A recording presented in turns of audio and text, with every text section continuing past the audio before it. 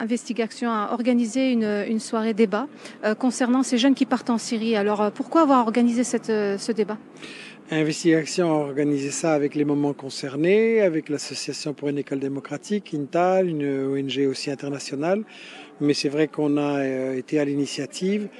Il me semblait très important que le public belge comprenne ce qui se passe là-bas parce que c'est pas logique. D'un côté, on a tous nos dirigeants politiques et nos médias qui disent c'est très bien, il faut aller en Syrie, il faut renverser le gouvernement, c'est la dictature en Syrie. Bon, euh, est-ce que c'est la démocratie en Israël, en Arabie Saoudite, au Qatar, etc. Euh, et puis quand euh, il y a des jeunes qui sont partis là-bas et qu'on a poussé à aller là-bas, qui reviennent en disant non, on ne peut pas revenir, c'est des terroristes.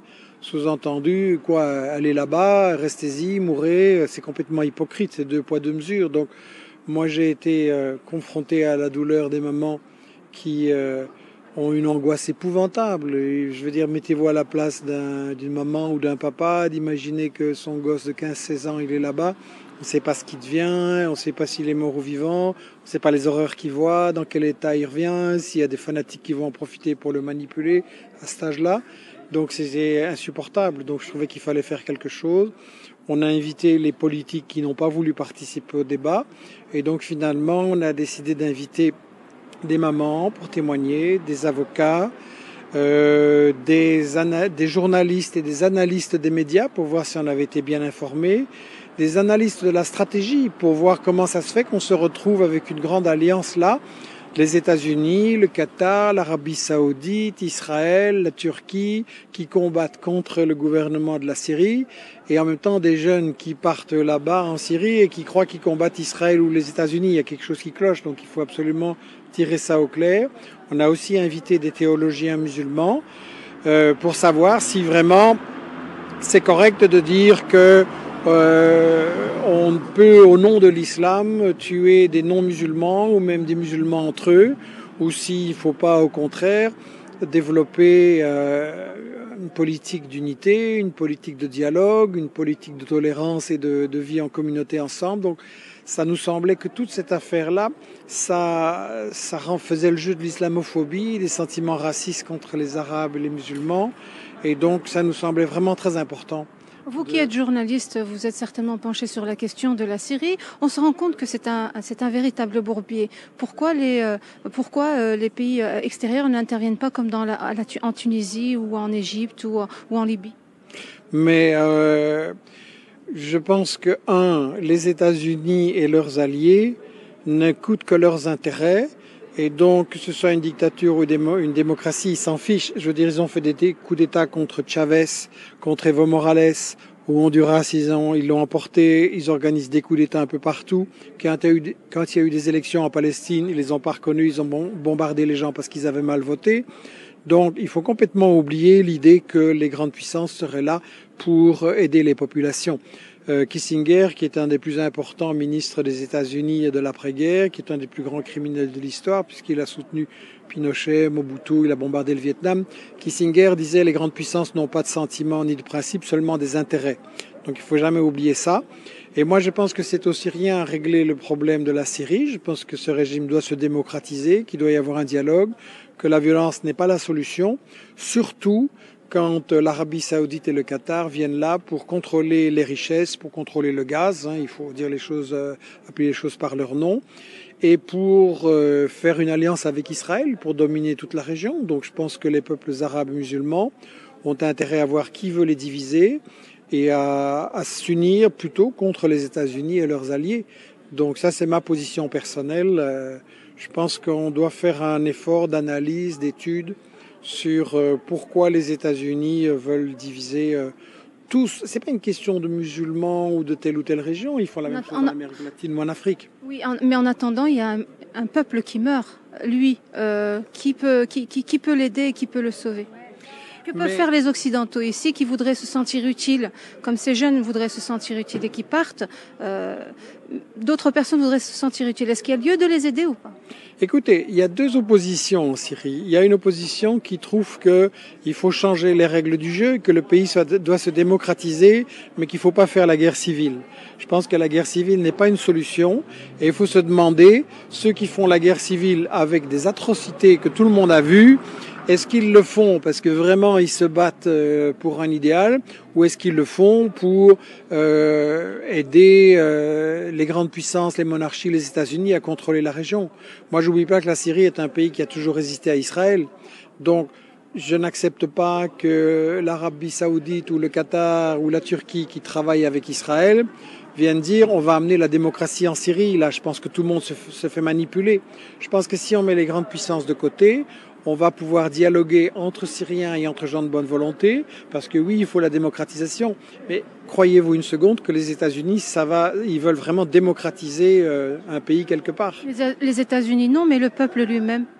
Mais... Vaut mieux un Bachar dictateur et qui fait euh, face à Israël ou une révolution pour qu'un peuple puisse gagner une liberté. Euh, Moi, je prétends pas savoir ce que les Syriens veulent et je me méfie quand on me dit les Syriens et surtout quand ce sont les médias occidentaux qui nous ont menti, je vous rappelle, sur l'Irak, sur la Yougoslavie, sur l'Afghanistan, sur euh, la Palestine, sur euh, le Congo, sur le, le, Vietnam, sur Chavez. Ils nous mentent tout le temps et là, je devrais les croire Non, je suis quand même un petit peu plus méfiant. Après, qu'est-ce que vous pensez de cette euh, étude, de ce sondage? Qui a été publié par l'OTAN et rapporté dans la presse des États-Unis, comme quoi actuellement 70% des Syriens soutiennent Bachar, 10% soutiennent l'opposition et 20% ne savent pas. Et qu'en fait le soutien à Bachar a remonté parce que les gens craignent le chaos, parce que les gens craignent que le pays soit entraîné dans une guerre civile confessionnelle et donc ils se disent bon c'est un dictateur mais on préfère quand même euh, un peu de sécurité et de stabilité plutôt que le chaos de la guerre civile. Qu'est-ce que vous pensez de ces statistiques-là Qu'est-ce que vous pensez de ce euh, dirigeant de la rébellion euh, à Alep, je pense, qui disait ben, le problème que nous avons ici, c'est que la population est avec le régime et pas avec nous. Donc, qui peut savoir exactement ce que les Syriens dans leur ensemble veulent? Qui peut parler à leur place? Et si on les laissait juste décider entre eux ce qu'ils doivent faire sans ingérence extérieure? Quelle serait la suite de, de ces événements? Et est-ce que vous pensez que euh, ce conflit syrien pourrait engendrer une guerre mondiale? Ben, C'est très clair, ça a été bien expliqué ce soir par Mohamed Hassan. Et c'est ce que je pense aussi. Pour comprendre cette guerre, vous devez voir qui l'a préparée et depuis quand. Les États-Unis, la Grande-Bretagne et la France la préparent depuis au moins deux ans et en fait même beaucoup plus. Vous avez des déclarations qu'il faut abattre la Syrie bien avant la première manifestation. Donc vous voyez, il y a un plan. Alors les manifestations démocratiques sont légitimes. Le problème, c'est qu'elles ont tout de suite récupéré et qu'on provoque l'escalade avec des armes, qu'on provoque l'armée à commettre des choses pour justement avoir l'escalade et justifier une intervention. Donc euh, je pense que Effectivement, on attaque la Syrie, demain on attaquera le Hezbollah euh, et les Palestiniens. C'est quand même, on sait ça, que les États-Unis et leurs alliés veulent écraser les Palestiniens. Et en fait, ils veulent écraser les Palestiniens, le Liban, la Syrie et après c'est l'Iran. Et après, c'est dominer la Chine, c'est la Russie, euh, dominer l'Asie, c'est la Russie, c'est la Chine. On doit toujours analyser une guerre des États-Unis, même s'ils sont plus discrets ici. On doit toujours les analyser du point de vue du cadre mondial global. Les États-Unis n'ont pas de principe, n'ont pas de sentiments, ils ne poursuivent que leurs intérêts. Et nous ne pouvons quand même pas marcher avec les États-Unis et leurs alliés. C'est n'est pas une bonne solution pour les peuples. Concernant les parents, vous les avez interrogés. Euh, quel est leur sentiment et qu'attendent-ils réellement? Écoutez, euh, oui, je travaille avec des parents et là, à l'instant, il y a un papa qui est venu me trouver en disant euh, Mon fils est mort là-bas. Merci pour euh, cette soirée. Ça m'a aidé à ce qu'on voit qu'on en fait quelque chose, que c'est utile et que vous essayez de faire quelque chose pour trouver des solutions. Donc vous voyez, euh, en tant que père qui a beaucoup souffert aussi, c'est quelque chose qui qui me touche terriblement. Moi, je me mets à la place de ces gens. Ici, en Belgique, on les voit. En Syrie, il y en a plein. De tous les côtés, dans tous les camps. Et pour moi, une victime, c'est une victime et je veux que ça s'arrête. Donc, je trouve qu'il faut absolument mettre fin à la violence. Il faut absolument le dialogue, des réformes, des élections Et il faut que les États-Unis, Israël, le Qatar cessent de s'en mêler parce qu'ils ne sont pas une solution, ils sont le problème. On ne peut pas arriver à une solution avec ces gens-là. Est-ce que la communauté musulmane ici, elle a un devoir vis-à-vis de ces jeunes? Évidemment, la communauté musulmane, mais tout le monde. Je ne pense pas que on doit dire le problème des jeunes musulmans, c'est la communauté musulmane. Non, moi je suis euh, laïque, euh, c'est mon problème aussi, c'est le problème de tout le monde.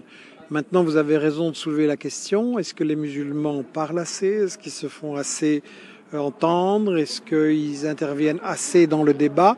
Je sais qu'il y a ce racisme anti-musulman, je sais qu'il y a cette islamophobie qui fait qu'on suspecte les musulmans et donc on veut en faire des citoyens de seconde ou de troisième zone. Mais là, justement, c'est leur responsabilité de ne pas accepter ça. Il y en a qui le refusent et qui parlent. Je crois que tout le monde doit parler. Vous savez, les musulmans, il y a des choses qu'ils savent bien et qu'ils peuvent apporter. Euh, les musulmans, la propagande sur Israël, ça, ça marche pas. Ils savent très bien que c'est du bidon.